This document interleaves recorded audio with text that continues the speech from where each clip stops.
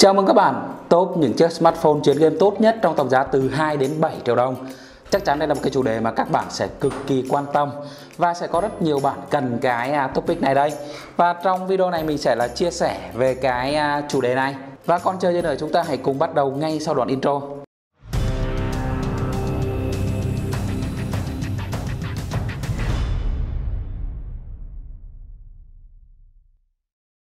Tiêu chí để mình chọn những cái chiếc smartphone ở trong danh sách này là nó phải sở hữu những cái con chip phải nói là tốt ở trong từng cái tầm giá một. Bởi vì mình sẽ chia ra những cái tầm giá như kiểu là 2 2,5 triệu này, 3, 4, 5, 5,5 triệu, 6, 6,5 và 7 triệu đồng.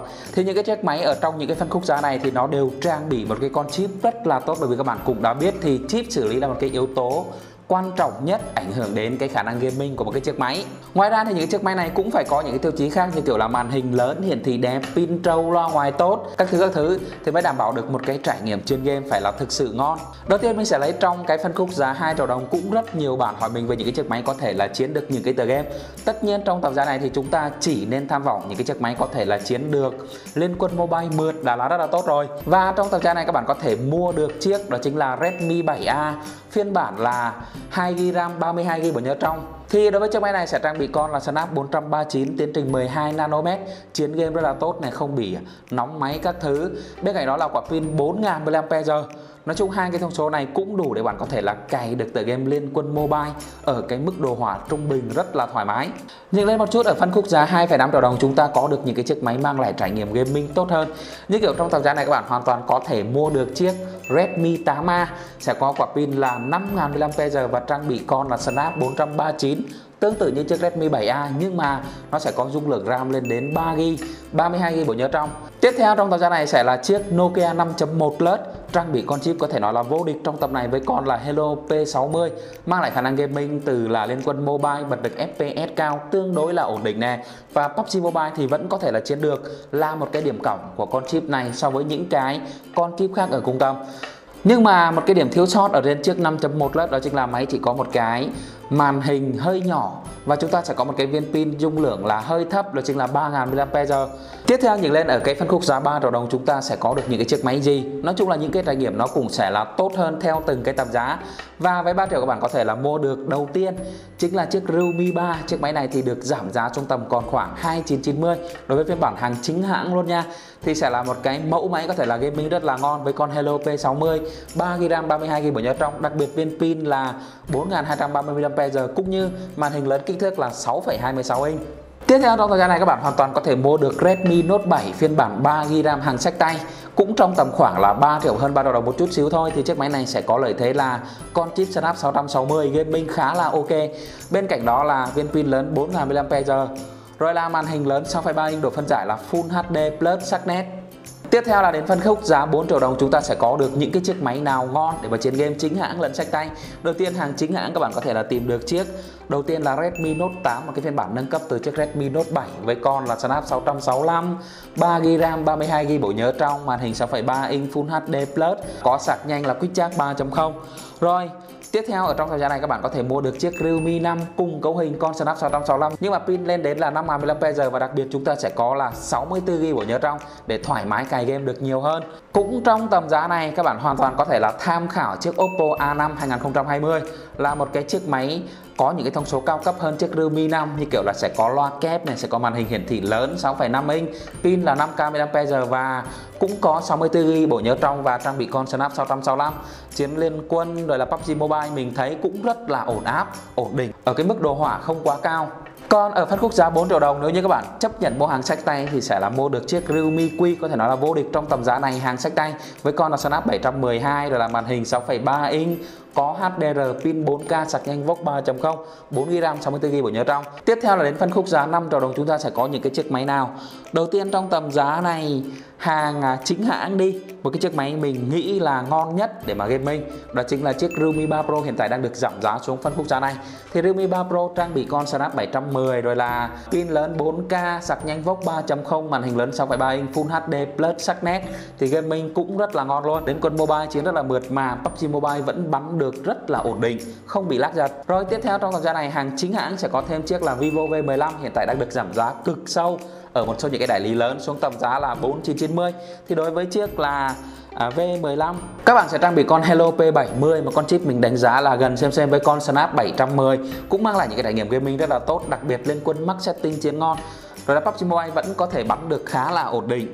Ngoài ra thì chiếc máy này sẽ có màn hình lớn hiển thị rất là đẹp, kích thước lớn 6,5 inch, pin là 4K có sạc nhanh là 18W. Tiếp theo là một chiếc máy hàng chính hãng trong tầm giá này, đó chính là chiếc V Smart Lite đang được giảm giá thì chiếc máy này trang bị con Snap 675 cũng là một con chip tốt trong tầm giá này có thể nói là xem xem với con là Hello P70 chỉ là thua thiệt một chút so với con Snap 710 mà thôi thì đối với chiếc vi Smart line sẽ có màn hình kích thước lớn là 6,2 inch, độ phân giải Full HD Plus, tấm nền AMOLED hiển thị tương đối đẹp và đặc biệt không có một cái phần khuyết nào. Thì đối với chiếc vi Smart line này mình đã test thì chiến liên quân mobile, PUBG Mobile cũng rất là ngon. Nói chung là khá là ổn định trong cái tầm giá này. Còn với tầm giá 5 triệu đồng hàng sách tay, các bạn có thể mua được chiếc máy nào best choice về chiến game. Vâng, đó chính là chiếc Redmi Note 8 Pro. Khỏi phải nói thì con G90T ở trên cái chiếc máy này mảnh như thế nào rồi. Nó có thể là max setting được mọi giờ game chiến khá là ngon lành. Ok. Bên cạnh đó thì chiếc máy này còn có màn hình lớn là 6,5 inch Full HD Plus, sắc nét có HDR này, pin là 4K5 có tản nhiệt chất lỏng. Tiếp theo là ở phân khúc giá 6 triệu đồng sẽ có những cái chiếc máy nào best choice về gaming. Theo mình, có một chiếc máy vừa mới ra mắt khá là ngon chính là chiếc Realme X2 trang bị con Snap 730G. Nói chung nó chưa thể đạt được đẳng cấp của những con chip đầu 8 nhưng mà nó sẽ là một cái dòng chip đầu 7 tiệm cận với đầu 8 nhất hiện nay. Thì nó mang lại những cái trải nghiệm gaming cũng rất là ngon không có gì để chê. Nói chung mỗi chiếc máy này để mà chiến game thì không có gì để mà bàn luôn. Tiếp theo hàng sách tay trong thời gian này sẽ có Redmi K20 trang bị con Snap 730 phiên bản rút gọn một chút từ con 730G á cũng gaming rất là ngon. À, đặc biệt chiếc máy này còn có màn hình lớn là 6,39 inch không có một cái phần khuyết nào.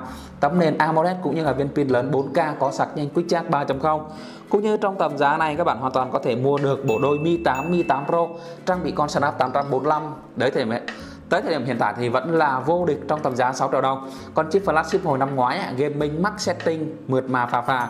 Mọi tựa game đặc biệt là do cấu hình cao cho nên là nó max setting nhưng mà không hề bị nóng Vẫn tương thích được rất là tốt Không bị lag giật tụt FPS các thứ. Thì PUBG Mobile, Liên Quân Mobile trên những cái chiếc máy này thì rất là ngon còn nếu như 6 triệu đồng hàng chính hãng các bạn sẽ mua được chiếc máy như nào? Đầu tiên sẽ là chiếc Redmi Note 8 Pro và thứ hai sẽ là chiếc Realme 5 Pro. Đó, hai chiếc máy này thì đều trang bị những con chip rất là tốt trong tầm giá này như kiểu là Snap 712 rồi là con Hello G90T đều có màn hình lớn, pin trâu, sạc nhanh đều là những cái đặc điểm mà mang lại khả năng gaming vô cùng ngon nhưng lên phân khúc giá là 7 triệu đồng các bạn có thể là tham khảo chiếc máy nào? Vâng, best choice ở đây chính là chiếc Redmi K20 Pro.